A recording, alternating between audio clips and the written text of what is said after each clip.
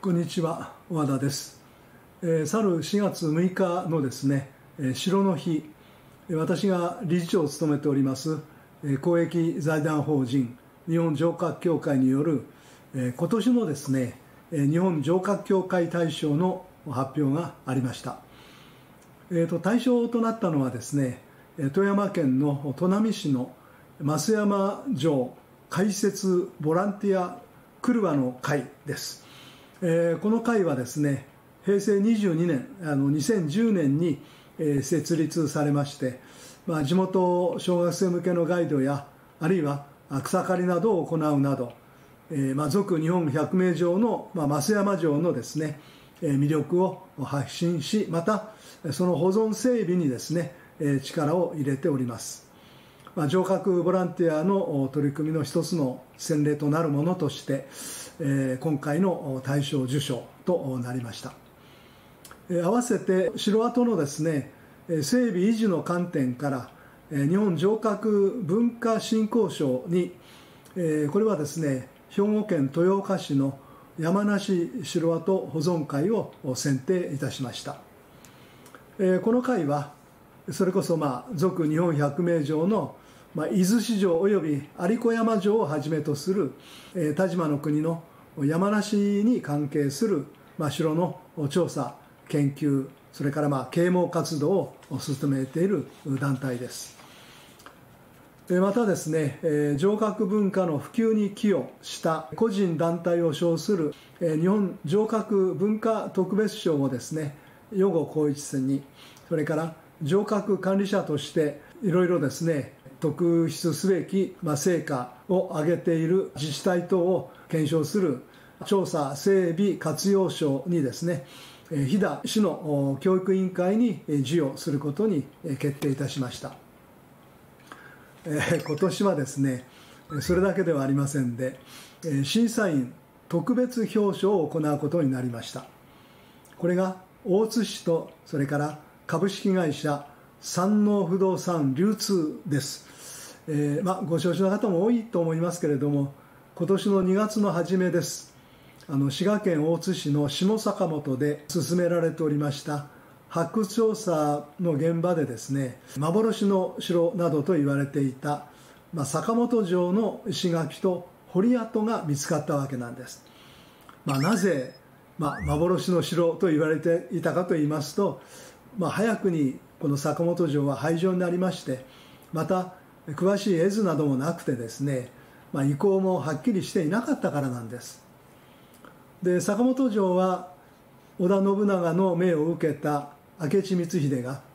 まあ、比叡山延暦寺を監視する目的で元気2年1571年の12月から築城にかかったということが文献に見えて、まあ、特に有名な吉田兼見の金見狂気によって天守が挙げられていたということも分かっておりましてあの有名なルイス・フロイスの日本史にも、まあ、信長が安土山に建てたものに次ぎこの明智の城ほど有名なものは天下にないほどであったと、まあ、記されています、えーまあ、琵琶湖の水がですね渇水状態になった時に、まあ、わずかに石垣が確認されるというだけでまあ、城跡についてはっきりしていなかったんですね、まあ、それが、ま、今回、まあ、不動産会社による、まあ、宅地造成地の、まあ、事前の発掘調査によって3の丸部分と推定されるところから、まあ、なんと石垣と、まあ、堀が出てきたわけなんです。えー、これがですねあの、まあ、新聞記事なんですけれども新聞報道されたのが、えー、2月の8日ですでここにまあ書いてあったんですが現地説明会が10日と11日の2日間開かれるということが書かれておりました、まあ、残念ながらその2日間とも私はもう予定が入っておりまして、まあ、行くことができなかったわけなんですね、まあ、するとなんとこの2日間で現地説明会を訪れた方が2000人いたというわけなんです。あのまあ NHK の大河ドラマ「まあ、キリンが来る」でもまあ、坂本城のことが出てきたためかもしれませんけれども、まあ、今までね古代遺跡などではあの、まあ、人がたくさん集まったんですが、まあ、戦国期の城跡の発掘現場に、まあ、これだけの人が押しかけたという例は、まあ、これまでなかったのではないかなと思います。まあ、私の経験ではあの、まあ、100人程度、まあ、多くても200人といった程度の、現地説明会、まあ、言説というふうな言い方しますけれどもそれがまあ実情だったと思います。でこのことがですね、まあ、結果的に好結果をもたらしたと思います。要するに多くの人が見学に訪れたということで、まあ、流れが変わってきたわけなんです。で大津市がこれほど多くの人が関心を持っているならば、まあ、史跡として残せないかと考え始めてくれたんです、ま、これまで開発を前提としたこのような発掘調査ではどんなにすごいものが出てもですね、まあ、規定方針通り発掘が終われば、まあ、埋め戻されてその上に建物が建ったり道路が通ったりするのが当たり前でした。で、まあ、そうな今回もですねそうなってしまうのかなとまあ、現地説明会に行けなかったことでちょっと私としては残念に思っていたところ、まあ、現地に行った人にお願いして、まあ後で、えー、城跡のね写真を見せてくださいと言っておりました。でところがですね、まあ、一転して、まあ、市と不動産会社との間で話がつきましてなんとなんと保存となったんです。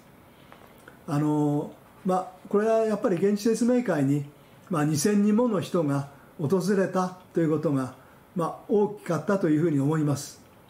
えーまあ、ですからまあ、日本城郭協会大賞の最終審査の過程でですね、まあ、審査員の中から、まあ、この大津市と、まあ、株式会社山王不動産流通も、まあ、表彰したらどうだろうかという声が上がってまいりまして、まあ、今回のこうした審査員特別表彰という形で、まあ、表彰することになりました。まあ、これはこれからのですね城跡の保存に、まあ、ちょっと流れが変わっていくかなというねまあ、そういった期待を持っている次第です。まあ、今日は以上で終わらせていただきます。